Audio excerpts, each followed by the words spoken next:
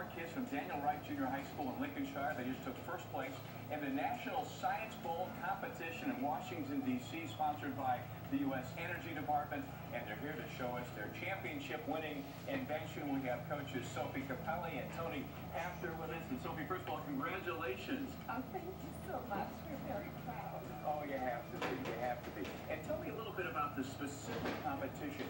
You had to build a car that was battery powered, and what were the what was the stipulation about it? Basically, all they give you is the battery that you have to use, the motor you have to use, and the connector.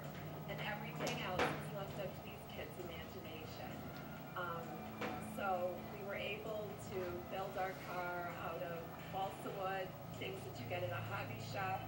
And these kids were very creative and let them tell you about what they did.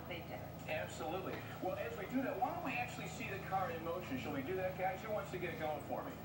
All right. And and as we do that, uh, Tony, tell me a little bit about uh, why was it that your car, you had to carry this little water bottle, why do you think it was faster than everybody else's? Well, that is uh, strictly up to the kids and what they decided to do, but uh, one thing they worked on is uh, they'll talk, talk to you a little bit about gear ratios, because uh, most people can build a car that runs very fast.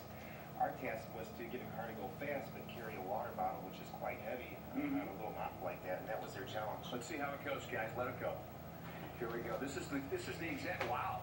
Very nice. Very nice. Good job. Hey, uh, what's your name? Alan. Alan Sennett for City Play. So I understand right before the competition began, come on for a second in the light.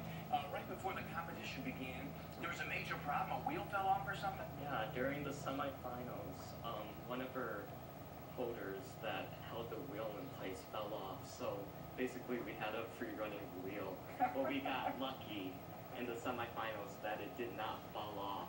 Right. Oh, that's great. It, it was just good enough on three wheels. And tell me this, guys, uh, and, and thanks so much for coming in today. Well, what about moving forward in uh, in science or technology and engineering? Does a competition like this inspire you to go on and, and do something else in this field? Yeah, definitely.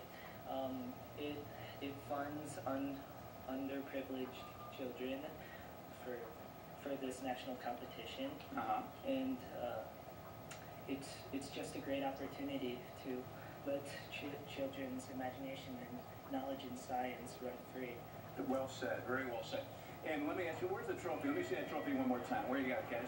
We lost the trophy. Here we go. We, and we see, we're seeing some video of the competition itself. And uh, let me ask you this. And what is your name, buddy? Andrew. So, I mean, you competed against uh, 30-some teams here in Chicago just to earn the right to go to Washington, D.C. You beat just hundreds, if not thousands of teams. How does that, how does that strike you? What does it mean to you? It means like a lot because what we did was during our regional competition, we got to nationals because of our academics. And then when we went to nationals, we completely switched gears and focused on this car competition, but also had some parts with the academic. And it was a lot of work, but it was also a lot of fun. Well, congratulations, everybody. Really appreciate you coming in. Well done. Again, Daniel Wright Junior High in Lincolnshire. National champions. That sounds good, doesn't it? Woo, it really does. All right. Thanks, guys. We'll throw it over to Mark Strell. How about it, Mark? Hey,